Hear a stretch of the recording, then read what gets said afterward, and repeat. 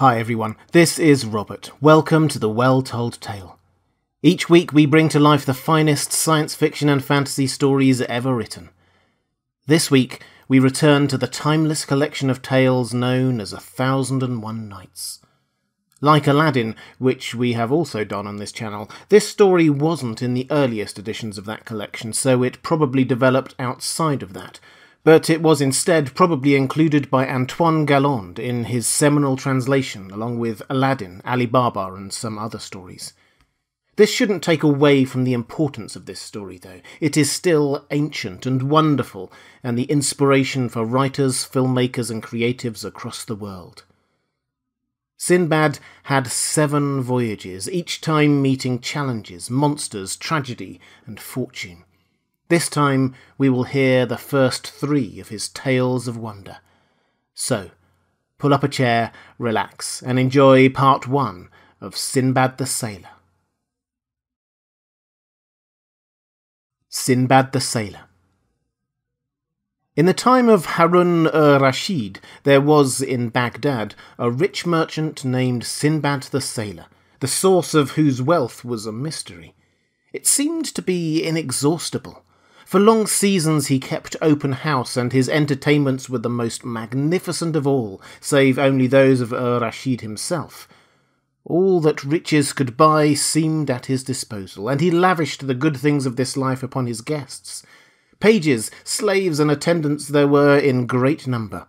His garden was spacious and beautiful, and his house was filled with every costly luxury.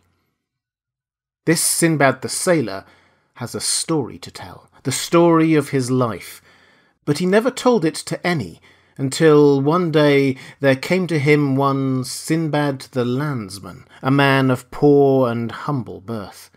This man pleased him greatly with an apt recitation dealing with the widely different lots dispensed by God to men, and being pleased, he was struck with the happy conceit that, now Sinbad the sailor was at last confronted with Sinbad the landsman, it would be no bad thing were he to narrate the story of his life, so that all might know his strange adventures and conjecture no longer as to the source of his fabulous wealth. Accordingly, Sinbad the sailor held seven receptions on seven different days, and although on each occasion a multitude of guests was assembled to listen, he failed not to address his words from first to last to his simple listener, Sinbad the landsman. Following is his narration of the strange and wonderful adventures he experienced in his seven voyages.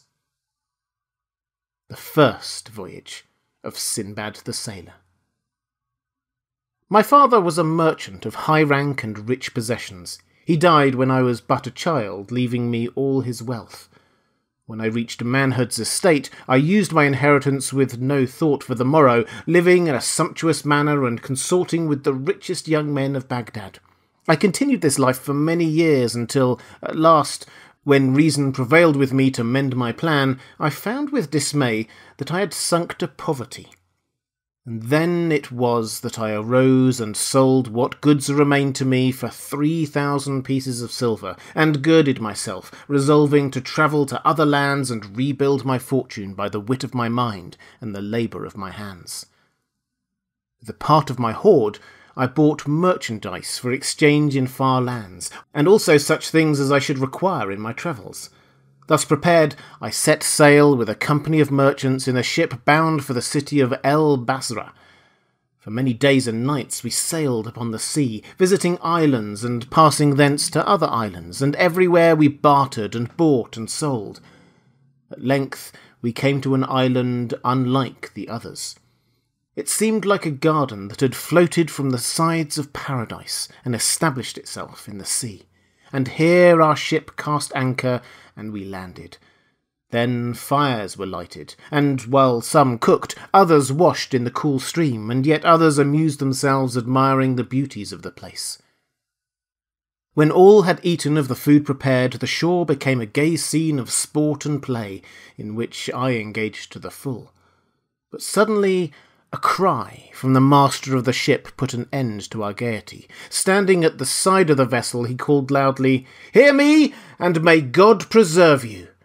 Hasten back, and leave everything. Save yourselves from sudden death, for this that ye think is an island is not such. It is a mighty fish, lying entranced in sleep on the surface of the sea since times of old, and trees have grown upon it. But your fires and your frolicking have awakened it, and lo, it moves! And if it sink into the sea, ye will assuredly be drowned. Hasten then, and save yourselves. At this, we all, with one accord, left everything and fled for the ship, hoping to escape with our lives.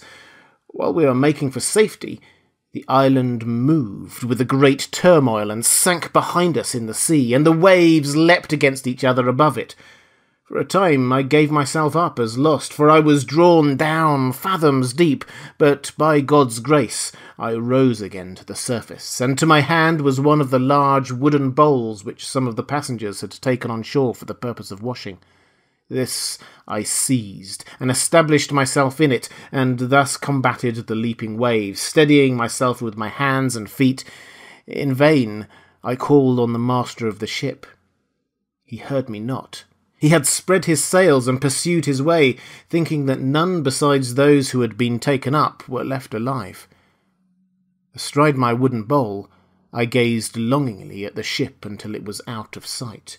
Then I prepared for death as the night was closing around me. Perchance I swooned, for I remember naught else until I found myself stranded upon a mountainous island. There were trees overhanging, and I grasped a drooping bough and drew myself up from the fretting wave. My limbs were benumbed, and on looking at my legs I saw the marks made by the nibbling teeth of fish, and marvelled at my salvation from death.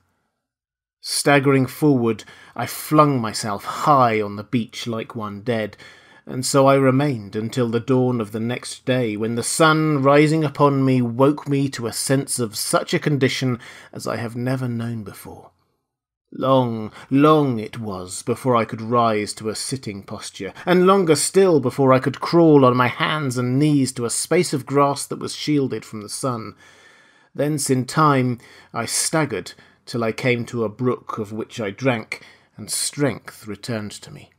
I found luscious fruits and ate of them, and drank again of the clear waters of the brook, and so I continued many days, roaming the island and wondering at its beauties until I was strong again as before. And it chanced as I took my way to and fro in the island, revelling in the sight of things that God had set there, that on a day when the sea was sounding loudly on the shore, I beheld something in the distance which excited my curiosity.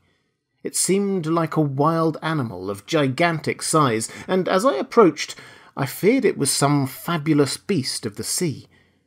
But as I drew still nearer, I was overcome with amazement to see a beautiful mare standing high, with mane and tail floating on the breeze. She was tethered to a stake on the shore, and at sight of me she screamed loudly and stamped her forefeet on the sand. But ere I turned to flee, I beheld a man came forth from a cave near by, and he ran after me, calling on me to give an account of myself and my presence in that place. Thereupon I laid my story before him, sparing no detail, even to the wooden bowl by means of which, and the grace of God, I had come hither. Gladness seized him at my recital, and he shook my hand, saying, Come with me.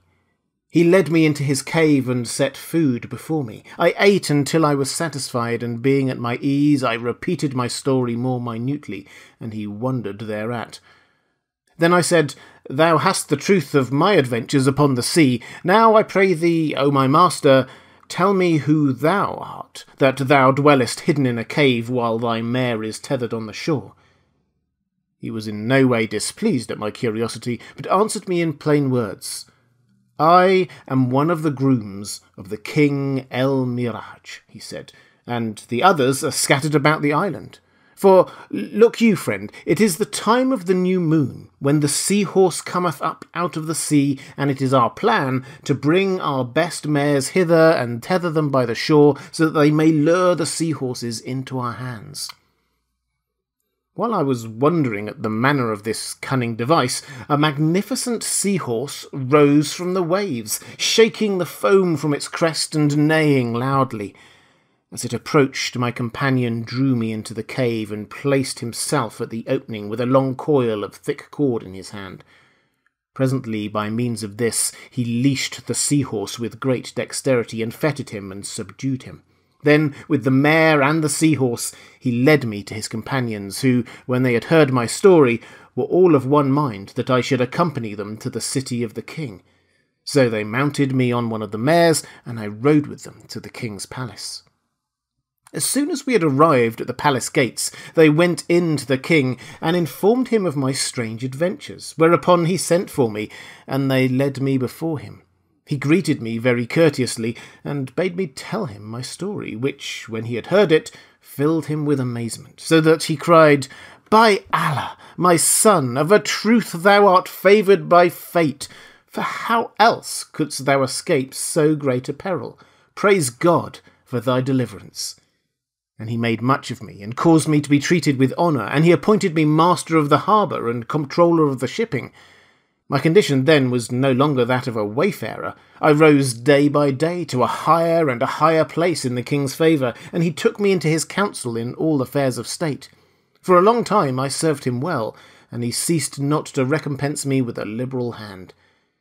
Yet my thoughts turned ever to Baghdad, the abode of peace, but when I inquired of merchants and travellers and masters of ships in which direction it lay, and how one might come at it, they one and all shook their heads at the name of a strange city of which they had never heard. At last, weary of the wonders of that island and the sea around it, wonders the which, if I had time to tell you, would cause you the greatest amazement, wearied too with my arduous duties, but most of all with my prolonged absence from my own land. I stood one day on the seashore when a great ship drew near and a number of merchants landed from it. The sailors brought forth their merchandise, and when I had made an account of it, I inquired of the master of the ship if that were the whole of his cargo. All, O oh my master, he replied, all save some bales whose owner was drowned on our voyage hither, but even these, being in my charge, I desire to sell on behalf of his family in Baghdad. Sayest thou so? I cried. Tell me, I, I pray thee, the name of the owner of these goods. And he replied, His name was Sinbad the sailor, and he was drowned on our way hither. When I heard this, I regarded him more closely and recognized him. Then I cried out, Oh, my master, I am he, and they are my goods that are in thy hold but he neither recognized me nor believed my words, whereupon I narrated to him the history of my supposed death, but he shook his head and called upon Allah to witness that there was neither faith nor conscience in any. Look you, he said, thou heardst me say the owner was dead, and therefore thou desirest the goods for thyself, free of price. I tell thee, we saw him sink into the sea with many others. Oh, my master, I answered, hear me, and then judge of my veracity.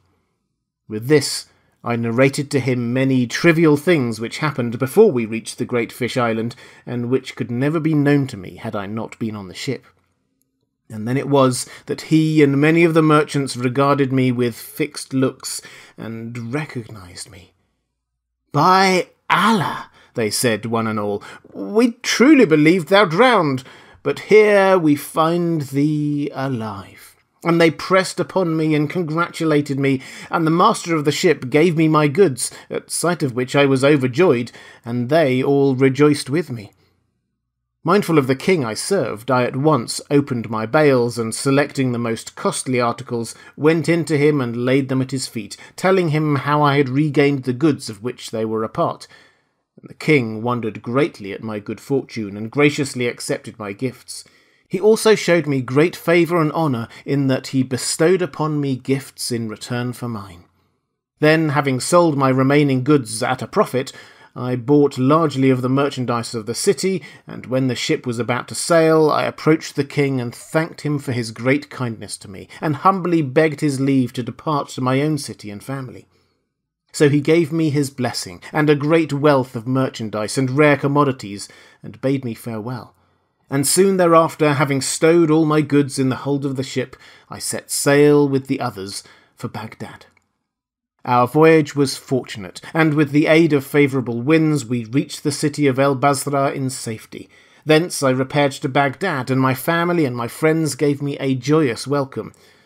And when I had sold my merchandise, I set up a large establishment, sparing no cost, and I bought land and houses, and gathered round me wealthy companions, in whose society I soon forgot the dangers and terrors I had suffered in other lands. Such is the story of my first voyage and tomorrow, by God's grace, I will narrate to you the strange adventures of my second voyage.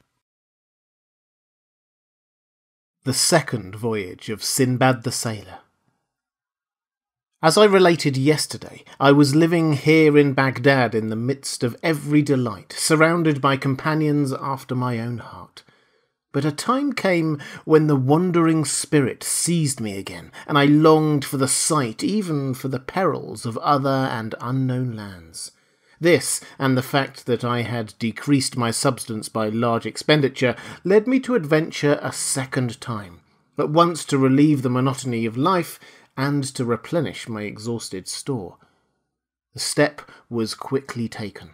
Having collated suitable merchandise, I repaired to the river and, without a word to anyone, embarked on a new ship, finely rigged and manned by a large crew. Together with a goodly party of merchants, I sailed away, and we passed over the deep from island to island, and from sea to sea, with fair winds filling the sails.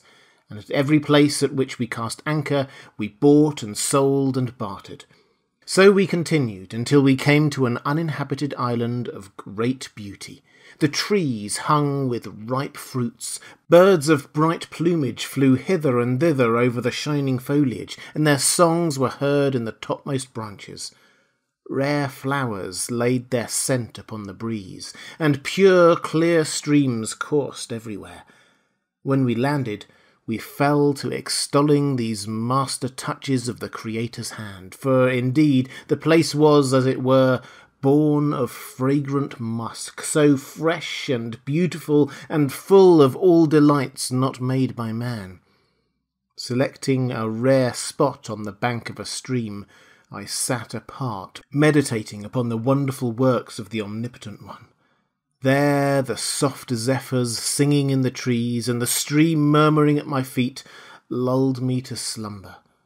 And when I awoke later, I looked forth upon the sea, and lo, the ship was far out on the wall of the ocean sloping to the sky.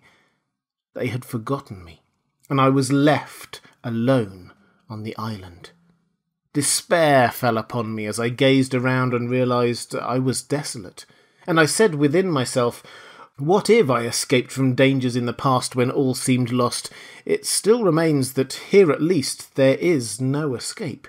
Then I blamed myself for leaving my comfortable life in Baghdad to undertake this voyage, for here there was neither strong food nor strong drink, nor rich apparel, nor gold, nor goods. As I pondered to the point of madness on these things, a restless spirit came upon me, and I ran to and fro in the island, retracing my steps and crossing them, but I found naught to lessen my despair. At last I climbed to the top of a high tree, and looking forth in every direction, saw only sky and sea and trees and watercourses.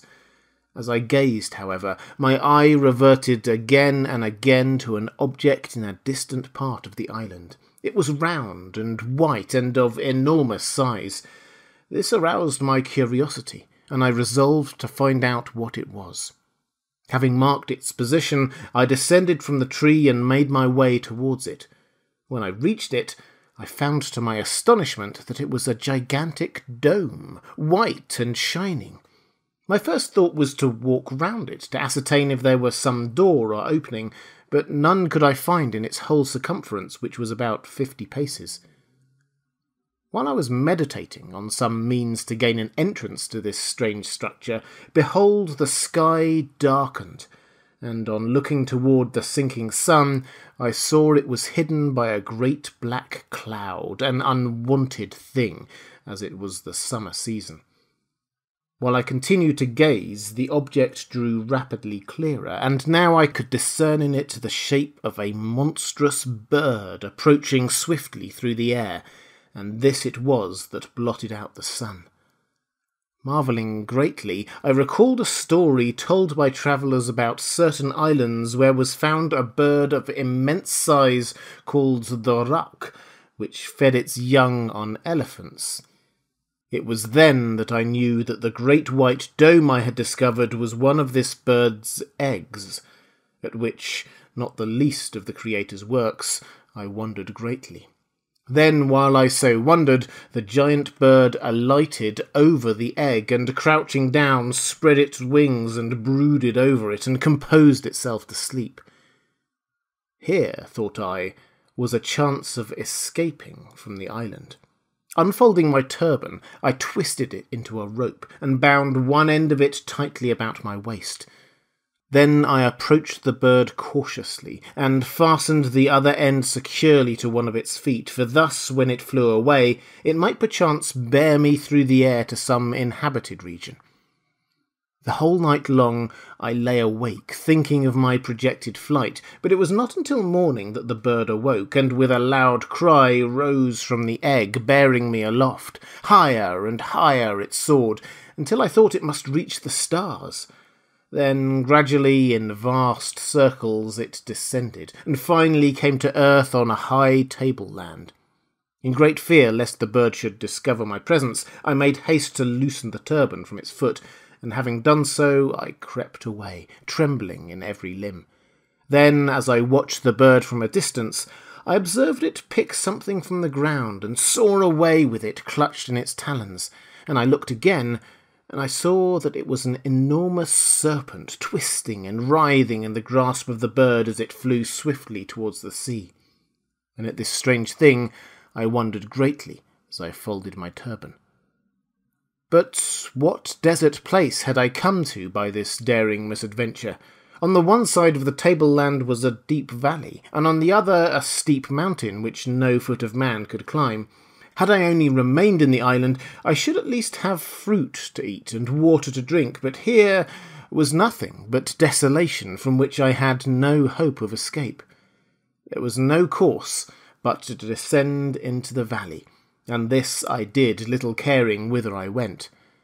Now I had not walked therein but a few furlongs when I observed that the ground I trod was strewn with diamonds of large size, but, and this gave me cause for wild alarm, coiled here and there amongst the stones were gigantic serpents, such as the one I had seen the bird bear away in its talons.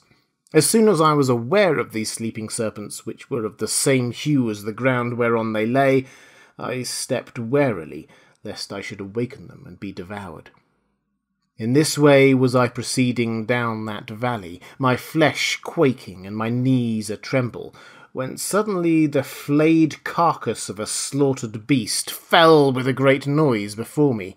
This aroused great wonder in my mind, and also called to my recollection a story I had heard in my youth from a merchant traveller who had visited lands whence none else had ever come to deny the truth of it, a story confirmed by others who claimed a reputation for wide knowledge and feared to lose it. It was this that in a far land where diamonds are as thickly strewn as the venomous serpents and other deadly perils which render it difficult to come at them, the daring merchants who seek these precious stones employ a cunning stratagem.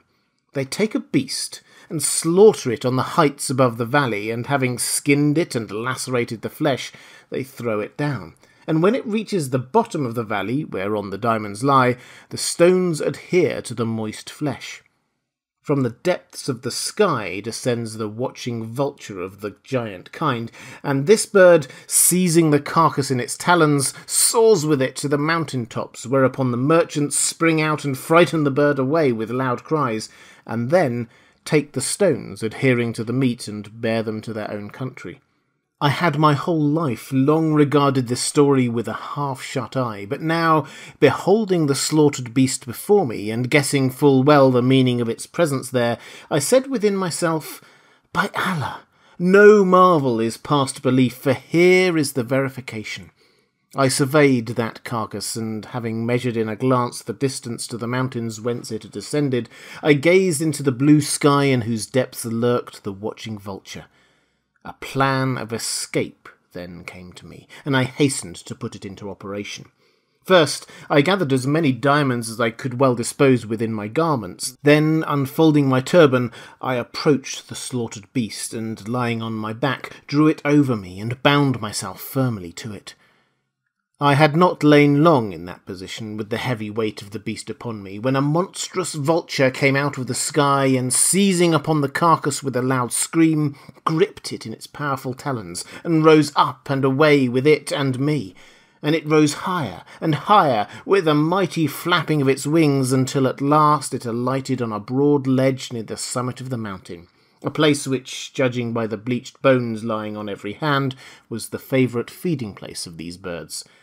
This was clearly known to the merchant who had cast the carcass down, for no sooner had the vulture deposited his burden and started to tear at the flesh than he sprang out with loud cries and scared it away.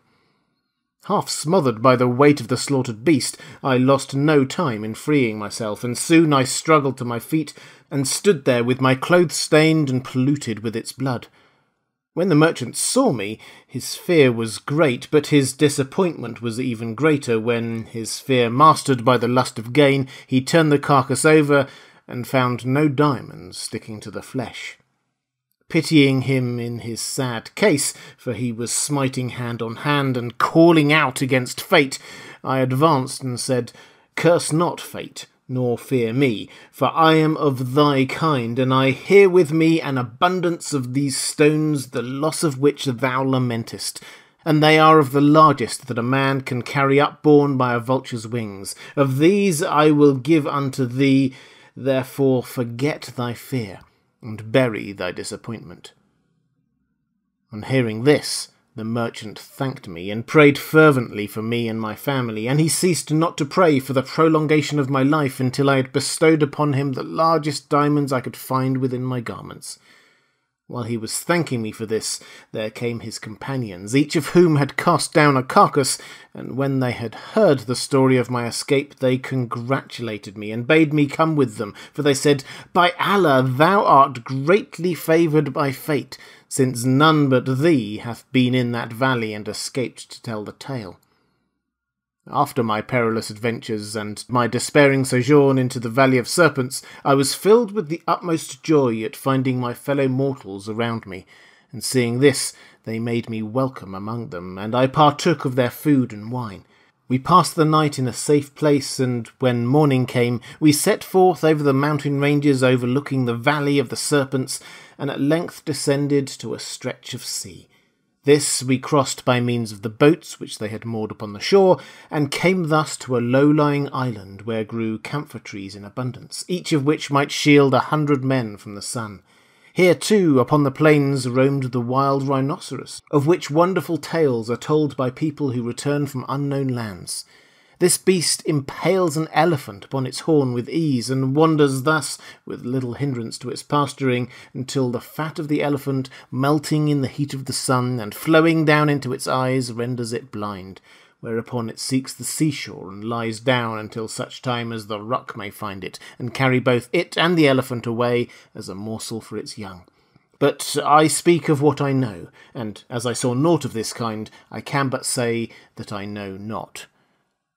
I continued with my companions for some space, journeying from island to island and exchanging the diamonds we had acquired for rich merchandise, and in passing through many countries unheard of in this city, I separated from them and went my way, coming at length to El Basra with a princely cargo of goods. Thence I journeyed to Baghdad, the abode of peace, and rejoined my family. Wealth I had in abundance, and I resorted to my former life of luxury, bestowing gifts and alms, wearing rich apparel, and eating and drinking with my companions.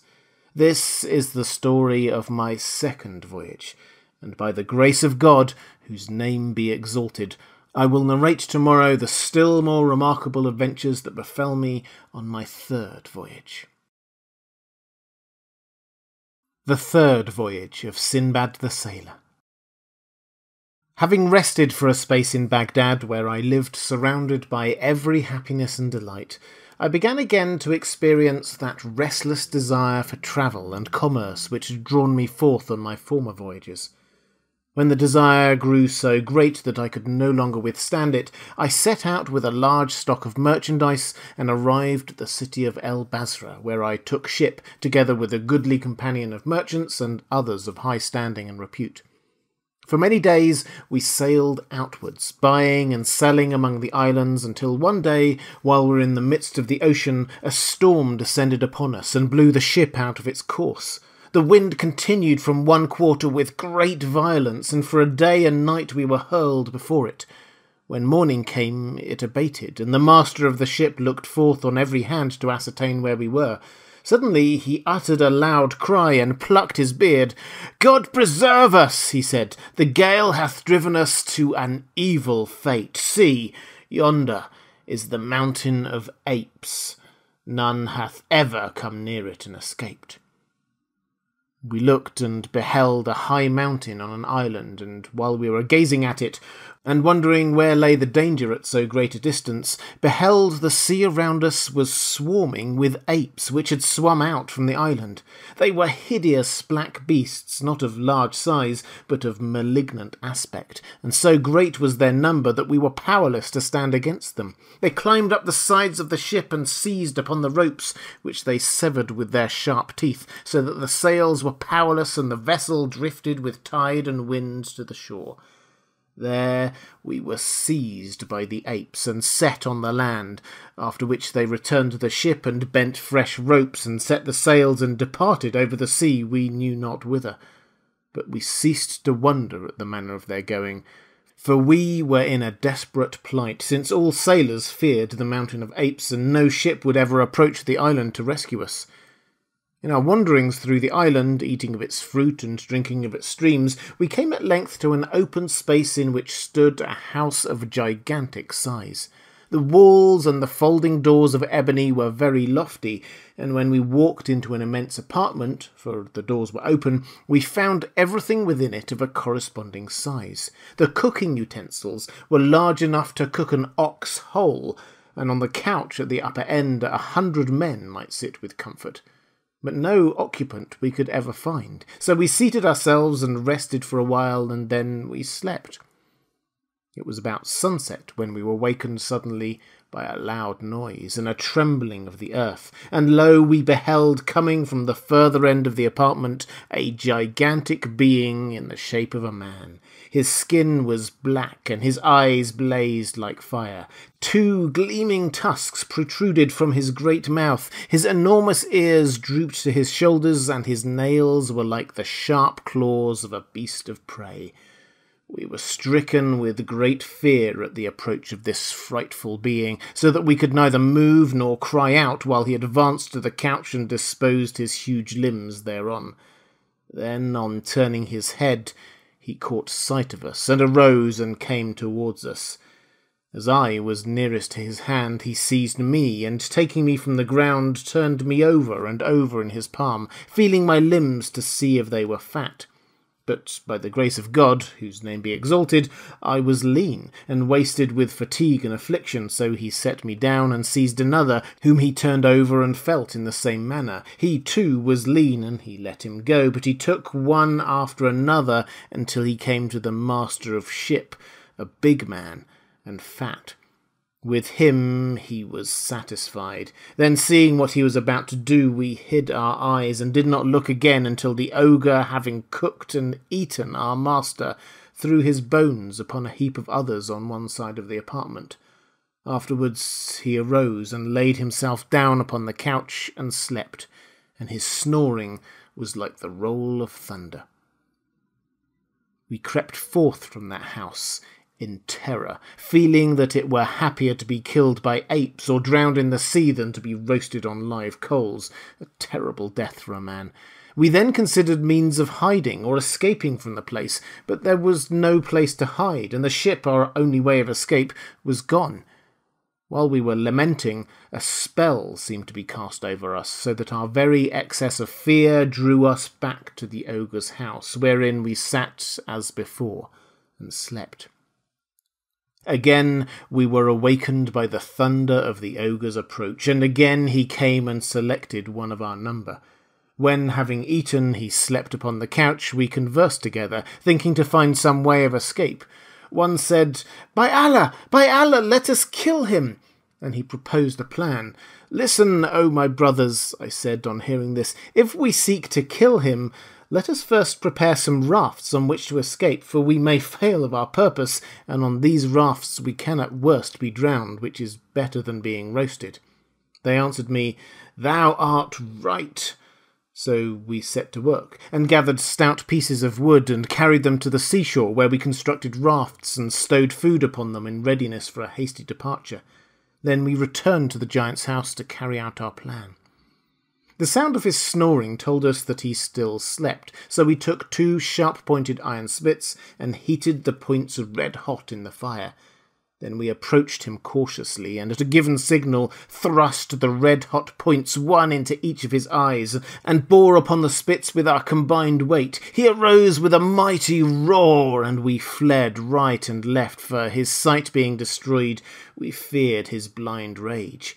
He searched for us, but not finding us, he groped for the door, and went forth, uttering loud cries which shook the earth. In great haste and lashed by mortal fear, we gained the seashore and launched the rafts. But scarcely had we gained the water when we saw the ogre approaching, led by a female more gigantic and more hideous than himself. We swam out, pushing the rafts before us, but they hurled great rocks after us, and many of our number were killed. Three alone, including myself, escaped, and after much stress and peril reached another island. We had gained at length what seemed to us a place of safety, high and dry above the wave and far from the ogre's domain, and there, when night came on, we slept, but only to awaken to fresh terrors. Lo, in the act of coiling round us was a serpent of enormous size, its folds contracted and its head raised to strike. At sight of this, another and myself were more nimble than our companion, for we sprang clear of the serpent's embrace, while he was seized in the huge jaws and slowly swallowed with a horrible crackling of bones. And we mourned our companion, and went thenceforth in fear for ourselves. Dreading to sleep again on the ground, we climbed a high tree, and binding ourselves each in a safe position with our turbans, we slept fitfully. But alas! God hath given to all serpents the wisdom of the evil one. That night the serpent mounted the tree, and seizing my companion proceeded to swallow him, while I looked on in helpless fear. Then, in descending the tree, it coiled its vast bulk around the trunk, and I heard my companion's bones crack within its paunch. When morning had come, I descended from the tree, feeling that my safest course was to drown myself in the waves, for where else could I hide that the serpent could not find me? But life is sweet, and I pondered long upon a cunning plan to protect myself. Then, repairing to the seashore, I selected some pieces of wood from the raft and took them to a dry place. Towards evening, when I had eaten of the fruits of the island and drunk of its streams, I bound a long piece of wood crosswise upon the soles of my feet, and another crosswise upon my head. I secured a wide flat piece to my right side, and another to my left side, and another to the front of my body, and there, having thrust my arms under the side pieces, I lay encased. And as the evening wore on, the serpent saw me, and draw near, but it could not swallow me because of the pieces of wood. All through the night it tried to come at me, attempting in all ways to effect its purpose, but in every way it failed, while I lay like a dead man, gazing in speechless horror at the terrible creature, and it ceased not in its efforts to engulf me until morning broke, when it went its way consumed with rage and vexation. Then I freed myself from the pieces of wood and arose trembling in every limb, but thanking God for my deliverance. For, look you, I was sorely tried by what I had endured from that serpent. Not many hours later, I had the good fortune to espy a ship far out upon the sea, and as it was making as if to pass a headland on the island somewhat closely, I ran with all speed and established myself on the furthest point. There I waved my unfolded turban to attract the notice of those on the vessel. At last they saw me and came and took me on board. They listened to my story with great astonishment and congratulated me on my escape. Then they gave me clean raiment and set food and drink before me so that I was revived and comforted. And as we proceeded on our way, I was emboldened to look back on all I had suffered as nothing more than a terrible dream. In the course of our journey, we came to an island where the sandalwood grows, and here I landed with the other merchants, but they had goods to sell, whereas I, alas, had none. Then, strange to relate, the same kind Providence that had befriended me on my first voyage was at my service once more, and in the same guise. The master of the ship, seeing me without merchandise, came to me, and taking compassion upon my poor condition, told me of some goods in the hold which belonged to a man whom they had lost during the voyage. He offered me these goods to sell upon the islands, so that when an account had been rendered to the owner's family in Baghdad, there would be a recompense for my trouble and service. I thanked him gladly for this, and he ordered the goods be brought up and landed on the island, and lo, when I saw the bales, I knew them, and showed how they were marked with the name of Sinbad the sailor. Then, seeing that they were perplexed, I shouted in my excitement, Do you not hear me? I am Sinbad the sailor, and these are my goods. While some believed and others doubted, I related my story from the time I had awakened upon the island to find myself alone, and when I mentioned the Valley of Diamonds, a merchant came forward and confirmed my words, for it was he whose slaughtered beast had helped me to safety. Hear me, ye doubters, he said. When I related this very thing to you, you believed me not, but see, this is the man I spoke of. Now you have it independently from his own mouth. Learn from this, O my brothers, never while living doubt a true tale, because it is marvellous. Then the master asked me what was the distinguishing mark of my goods, and I replied that it was such and such a mark, and I also called to his mind some conversation between him and me before the ship left Al Basra. He was then convinced that I was Sinbad the Sailor, and he congratulated me, and he embraced me, saying that my story was most extraordinary.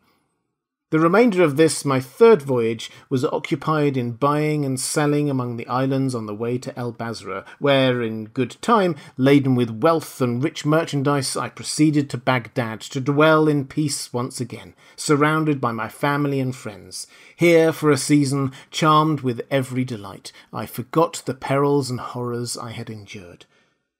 But the longing for travel and adventure found me again, impelling me to undertake a fourth voyage, and the events of this, more marvellous than those of the preceding voyages, O Sinbad the landsman, I will narrate to you tomorrow.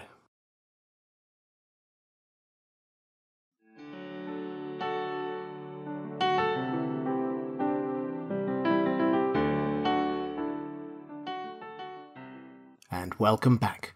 I hope you enjoyed listening to the first three voyages of Sinbad the Sailor. If you want access to more classic science fiction and fantasy stories, or if you just want to show your support for the Well Told Tale, please consider visiting the Well Told Tale Patreon page at patreon.com slash the Well Told Tale. There's also a link in the description. Please join me next week as we hear of Sinbad's other astonishing voyages. I hope you can join me.